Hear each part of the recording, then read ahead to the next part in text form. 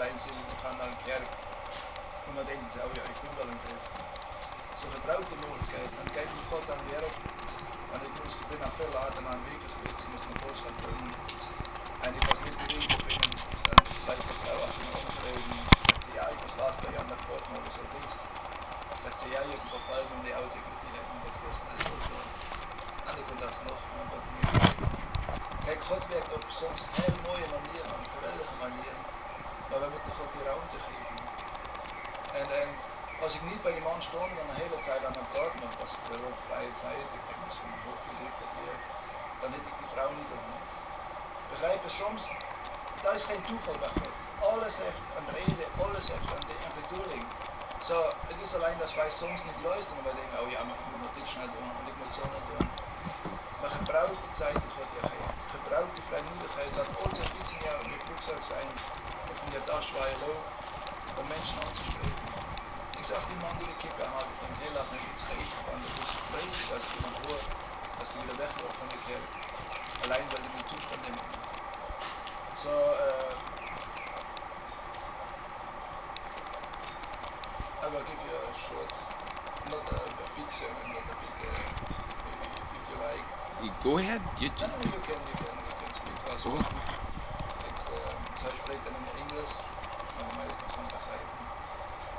Uh, an hour or so. It's good. Yeah. Because the, the children are not here today. En um, zo, dit is alleen wat ik jou wil meegeven. Want ik zag die tijd dringt. En als je rondkijkt op aarde, en ik zag als je internet een beetje volgt, want uh, maar ik natuurlijk spijt voor die veel mensen die daar als vluchtelingen over die aarde of op, voor over Europa verdeeld worden.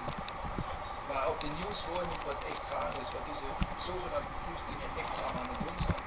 Hoe ze vrouwen verkrachten, misbruiken, hoe ze winkels bestelen, constant hoeveel dingen daar gebeuren. En dit is pas het begin. Het is een paard van Troja binnen, want irgendwann her staan die volkeren op. En nu als hier groeperingen, ze noemen ze dan rechtsradicalen zo. Maar ze staan op en het gaat oorlog gegeven in die landen. Het gaat verschrikkelijke dingen gebeuren. En dat is wat de Bijbel zegt. Aan het einde van de tijd, het komen vreselijke dingen als je ongekend bent op deze aarde.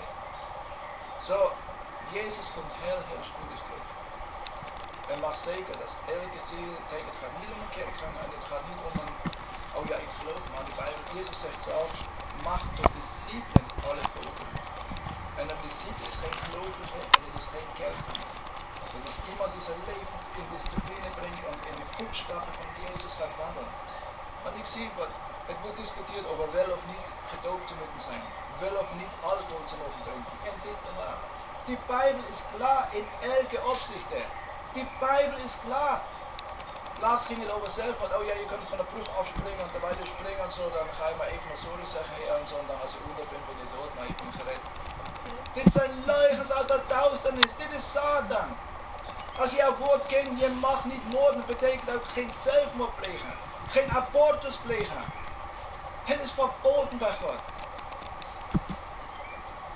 Zo, het is heel veel mis in het hele christendom.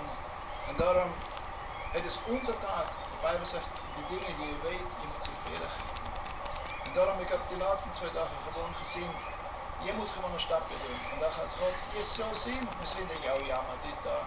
Maar je krijgt soms die idee, hey, ik moet met hem spreken. Maar je denkt, oh ja, ik laat het gaan. Nee, spreek met de mensen. Spreek. Het is even een paar woorden, maar je zal zien wat God gaat doen. En op de jongste dag, als die persoon geen beslissing neemt, maar hij kan nooit staan voor God en zeggen, ik heb het nooit gehoord. Dan kan de Heer zeggen, hé, hey, kijk, daar we die kans krijgen, maar je wil niet. Kijk, de beslissing is bij die persoon. Niet bij iemand anders. Niet bij jou en niet bij een andere persoon. Die persoon zelf moet, beslissen wel of niet met maken. Zo, neem dus mee als een, een aansporn of als een bemoediging. En ik zeg het zo, blijf voor de kinderen bidden, voor de kinderen. Ik denk, want die vrouw heeft laatst al gezegd, het wordt moeilijk soms, want zolang die dochter ziek is, moet ze zelf heel veel opknappen. Die vrouw is ook op leeftijd. Als ik weet niet, ja, die kinderen of dat zit en zo, dus toch wel weer. Maar alsjeblieft, uh, blijf voor hem bidden, want ik zag het zo Ik denk wel, ik hoop dat iedereen wel geraakt is een beetje meer geïnspireerd is om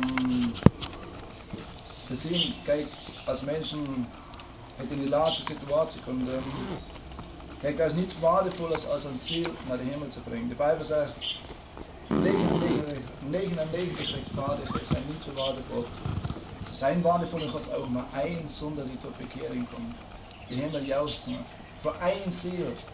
En kijk, God zal iedereen zo kunnen redden, maar hij wil jou gebruiken om andere mensen te benaderen, om andere mensen te bereiken. Ik heb je vaak verteld, die mensen als ze toen, um, nou, het was in de jaren 80, begin jaren 80, als we tot bekering kwamen, maar als dit was een, een klein groepje mensen, waren een paar jonge mensen die zo volhardende waren, elke week en elke week, soms twee keer per week, tot ons kwamen, ons auto richten voor een samenkomst, met ons spraken, dingen vertelden. En ik was ja ik was niet grof, grof naar hen, maar het boeide mij niet. Ik was katholieks opgevoed, ik heb zoveel ellende gezien in de kerken.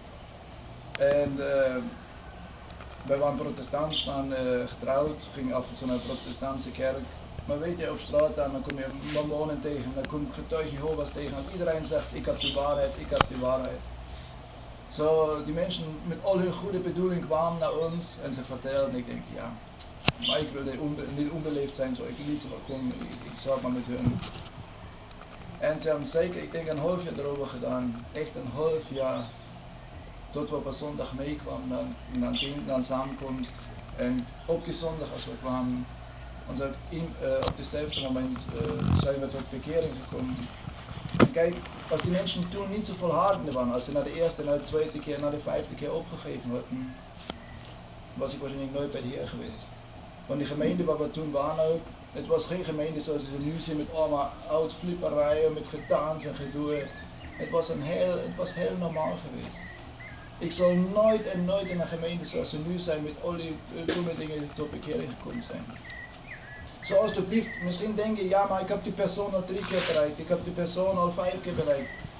Ik ga extra maken. Ga door. Zolang er levensodem is in de persoon, is er hoop voor de persoon. En niemand weet of die morgen opstaat. Jij weet niet of je morgen opstaat. Kijk, er zijn zoveel wat, wat uh, dingen ook vertellen. Het zijn zo verschrikkelijk veel ziektes op deze aarde. Zo vreselijk. Het is het gevolg van onze zondes. Ik zal volgende zondag dan meer willen spreken over, over zonde, want ik dacht, nou het is ook goed als de kinderen zijn om dit onderwerp te horen. Maar ik moest er dan denken, want ik zeg, ik ben op internet bezig of ik probeer een beetje links en rechts mensen te bereiken, maar met al die, met al die leugens die ze spreken. En terwijl ik bezig was, gisteren was heel sterk, het grootste probleem op deze aarde is dat leugens gesproken worden. Het begint bij de grootste mensen in de politiek, en het eindigt bij de kleinste kinderen die rondlopen.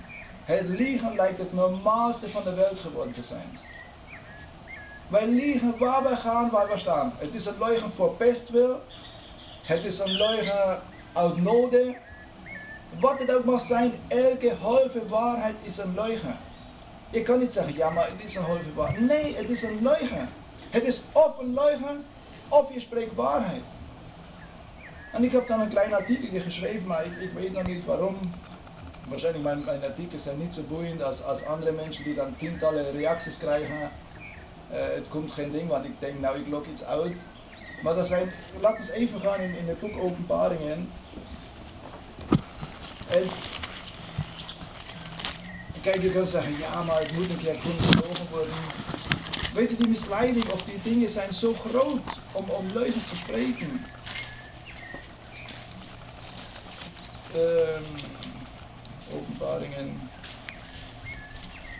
In 21 vers 8 staat, die vreesachtigen, die ongelovigen, gräulige, doodslagers, dat zijn moordenaars, hoerierders en tovenaars, afgodendieners en al den leugenaars.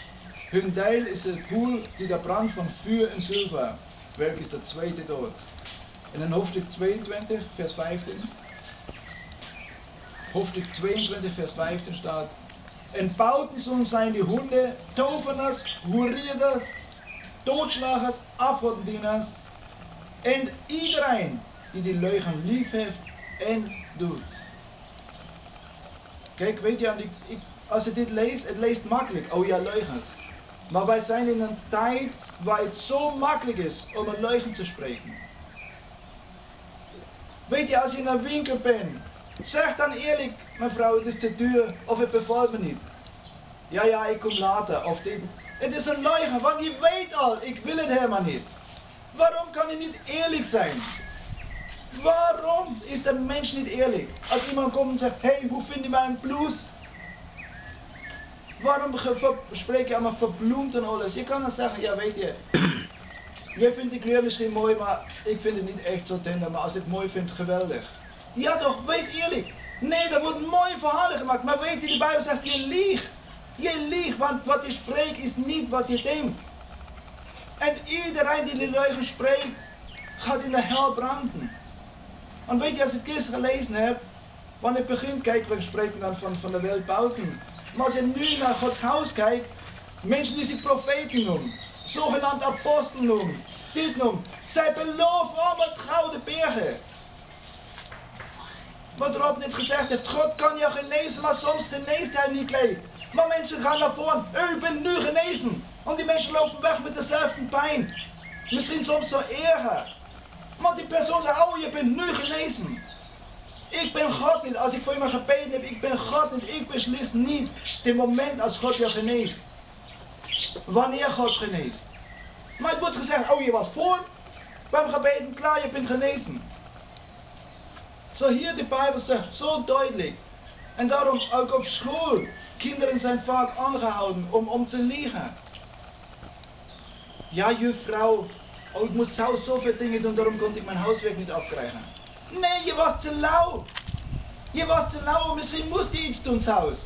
Maar dit wat je doen moest, gebruik je als een uitvlucht, daarom komt je huiswerk niet af. Het is gelogen, je was te lauw om je huiswerk te doen. Want als je je ouders zegt, oh ik moet mijn huiswerk nog maken, dan zal de hoogste tijd zijn om het huiswerk te doen. Nou als je niet treuzelt, maar zit en schrijft, dan weet je zelf, je bent zo klaar. Als een kind van God behoren we geen leugens te spreken. En ik merk ook vele mensen die zich christen noemen, ze liegen gewoon. Ze liegen. Ja, ja broeder, nee het is niet leugen, het is gewoon... Ze hebben misschien ook een werk, ze hebben, geld nodig en dit. Maar zelfs dit is gelogen dan. Want als er geld voor andere dingen is...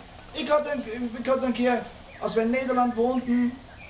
Tegenover ons was, waren ook christenen en ik had medelijden. Er was een twee kinderopkomst. Die vrouw was, was afgekeurd van werk. Die man heeft ook een beetje moeilijk verdiend, maar ze moesten het huis verbouwd hebben. Ik zei, nou weet je wat, ik wil het heel goedkoop doen, oma. Ik wil jullie helpen. En als het geld niet lekker is, bezommen dan stap bij stap terug. Het werk was gedaan. En ik denk, ja, ik heb echt medelijden met die mensen. Maar ik kom daar, een mega grote kast van televisie. Een splinternieuwe dit en dat. Ik zeg, hé hey, Vasco, je kan geld kopen, uh, je kan dingen kopen, maar tegen mij zeggen, je hebt niet. Ja, maar dit is een ander potje. Oh, je kan mijn werk en mijn spul niet betalen, maar een ander potje kan wel een televisie en alles kopen. Kijk, het is liegen. Begrijp me, het is liegen en spreken. Je noemt je kind van God, je noemt je een christen. Daarom wees voorzichtig met je mond. Wees voorzichtig als je in een winkel bent of als je op school bent, waar je bent. Laat beter je mond dicht. Dat is een, gezegde, hoe ze in, ik ken het in Duits. Um, praten is zilver en zwijgen is goud. Je kan beter stil zijn. Laat je niet verleiden tot leugen spreken. Daarom, als een christen in de politiek zit, het werkt niet. Het kan nooit. Niemand die in de politiek is, kan een kind van God zijn. Dan mag hij voorganger zijn en soms is. Hij kan niet. Want die politiek is op leugens gebouwd. Het is niet alleen hier, het is over de hele aarde. Het is leugen spreken. Zo niemand die een kind van God is, kan daar zitten. Hier staat duidelijk, al die, God noemt, kijk wat we gelezen hebben, ongelovigen, doodslagers. Zo, God noemt een leugenaar, niet een hoerierder, niet een tovenaar, niet een afgodendienaar. In hetzelfde lijntje zegt God, en iedereen die liegt. En ik heb weer vaak gezegd, jammer genoeg, die ouders voeden je op met leugens. Kijk, zoals ik zag zoals we katholieks opgevoed waren en alles. Je hebt zogenaamde paashaas, je hebt het, uh, het kerstkind wat dan komt, al die cadeaus onder de boom ligt, al die dingen. Je wordt als kind al belogen. En die liegensprekerij neem je over. Daarom als volwassenen, we hebben al die dingen om oprecht te spreken. Ik zie het bij mij zo vaak ook. Mensen, weet je, ze zijn dagen oud. Oh, wat krijg ik aan korting? Zo ben je gauw, denk je, oh, ik moet een hogere prijs zeggen om toch mijn ding. Ik zeg, nee jongens, ik wil 10 SLE klaar, dit is mijn prijs. Geen korting, dit is de prijs. Ik kan 15 zeggen en dan 10 maken, maar dan heb ik je belogen. Ik wil dit en dit krijg ik of niet, laat het. Begrijp je? Want overal wordt hier korting, korting, met alles wordt korting, in de winkel ook korting. Maar die korting is al erop geslagen. Je krijgt geen korting. Ze beliegen jou, want als je niet vraagt, hebben ze gewoon extra verdiend. Zo, je krijgt geen korting, het is leugen En zo is de hele maatschappij gebouwd. En zo is de hele kerk gebouwd. Oh broeder, help me, want het gaat niet goed. Maar hij vertelt je niet dat hij gewoon geld gehad heeft en lichtvaardig andere dingen gekocht heeft. Begrijp mij. God noemt een leugener gelijk aan al die andere kwade dingen. Alleen je zal merken als je waarheid wil spreken en, en echt erin wil staan, het zal heel moeilijk zijn. Want je hebt niet veel vrienden. Maar dit hoort bij het christenleven. Zoals mensen iets denken, dan laat je niet overhalen om iets te spreken wat niet de waarheid is. Dan zwijg liever of zeg die persoon recht vooraf. Zeg het recht vooraf. Het is soms niet leuk. Waarheid zal niet altijd even makkelijk zijn. Maar het is het eindigste wat helpt.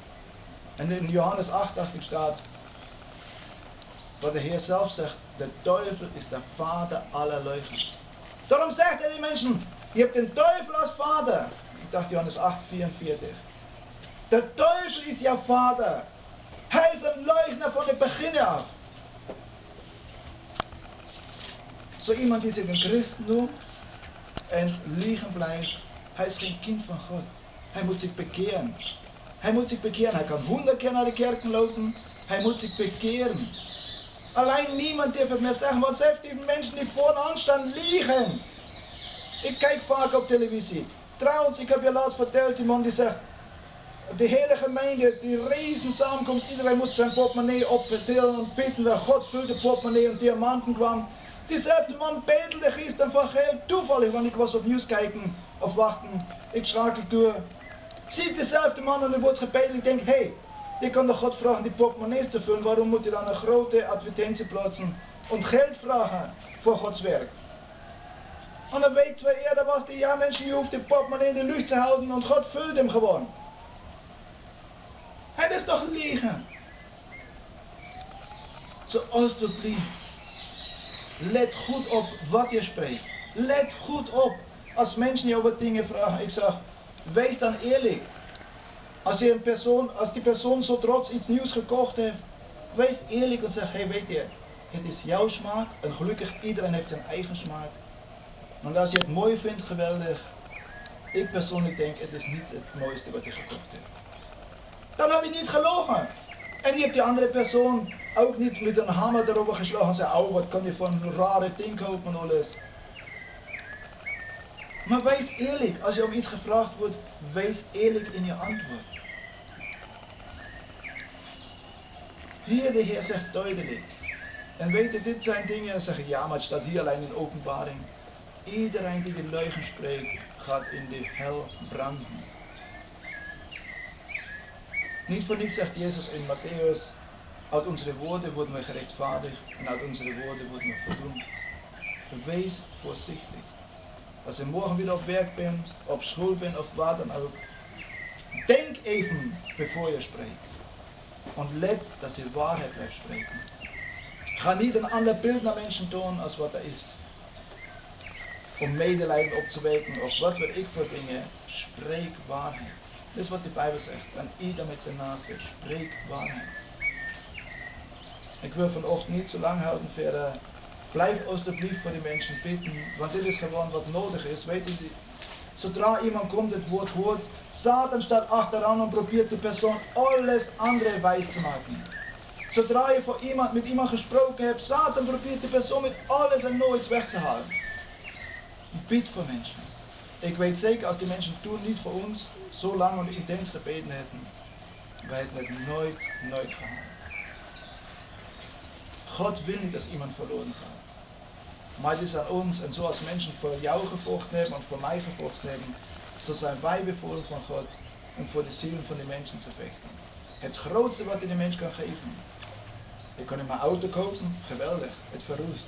Je kan hem dit geven of daar, het gaat over. Maar een persoon die de eeuwigheid vindt, zoals Rob vertelde, die man terwijl hij zelf doodgaande was, nog alles gedaan heeft om tenminste één ziel tot de Heer te brengen.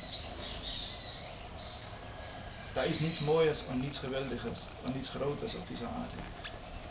Om mensen te redden, of om mensen tot de Heer te brengen, dat ze behouden zijn tot de eeuwigheid. Laat ons nog een keer opstaan om.